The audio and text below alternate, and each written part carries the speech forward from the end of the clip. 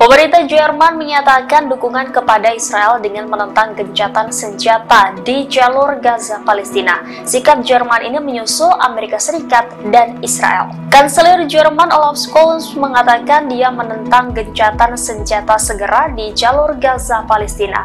Pernyataan Scholz ini muncul di tengah seruan internasional untuk mengakhiri operasi militer Israel di Gaza. Scholz menilai gencatan senjata sama halnya memberikan kesempatan kepada Hamas Untuk memulihkan kekuatan dan mendapatkan rudal baru. Sebaliknya, pemimpin Jerman itu menyerukan jeda kemanusiaan. Adapun sikap Skoll ini bertentangan dengan sikap banyak negara Arab dan Presiden Turki Recep Tayyip Erdogan yang akan bertemu dengan pemimpin Jerman di Berlin minggu depan. Sebelumnya, Uni Eropa kembali menyerukan untuk segera menghentikan pertempuran antara Israel dan Hamas di jalur Gaza. Uni Eropa juga meminta Hamas untuk membebaskan para sandera yang diculik pada 7 Oktober lalu. Download Tribun X sekarang, menghadirkan lokal menjadi Indonesia.